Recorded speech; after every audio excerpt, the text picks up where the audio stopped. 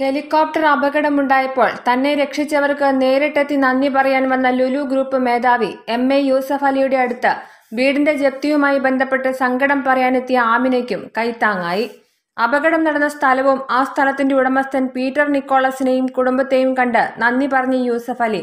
അവർക്കും സമ്മാനങ്ങൾ നൽകി മടങ്ങുമ്പോഴായിരുന്നു സങ്കടം അറിയിക്കാൻ കാഞ്ഞിരമറ്റം സ്വദേശി ആമിന വന്നത്.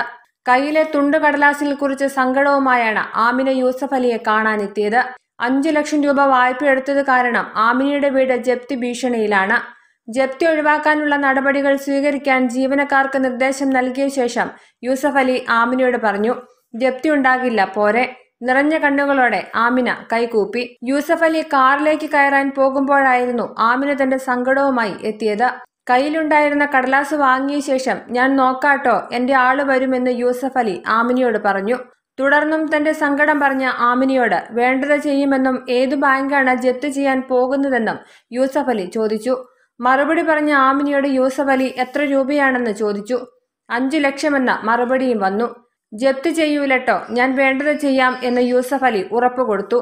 ഈ ദൃശ്യങ്ങൾ ഇപ്പോൾ സമൂഹ മാധ്യമങ്ങളിൽ വൈറലാണ്. ഇത് ഏതു ബാങ്കാണെന്ന് ചോദിച്ച ശേഷം ആമിന നൽകിയ കടലാസ് പിടിച്ച് യൂസഫ് അലി തന്റെ സഹായികളോട് പറഞ്ഞു. ഈ ബാങ്കിൽ പോവുക അന്വേഷിക്കുക ജപ്തി പാടില്ല. കാശ് കൊടുക്കുക ഡോക്യുമെന്റ് എടുത്ത് ഇവരുടെ കയ്യിൽ കൊടുത്ത് എന്നെ അറിയിക്കുക.